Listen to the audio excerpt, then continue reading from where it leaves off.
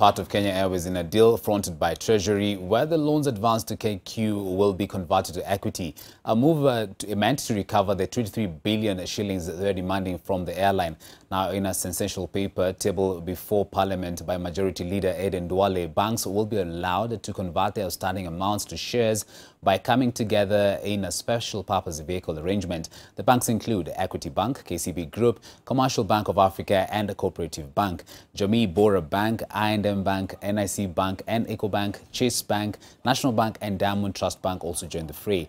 Now, this comes a day after Treasury announced that it will convert its 25 billion shilling uh, debt to KQ into equity. Now, Treasury owns 29.8% of Kenya Airways, while KLM has a 26.7% stake in the airline. Parliament has been requested to first track the approval before Parliament breaks for recess. That's next Thursday.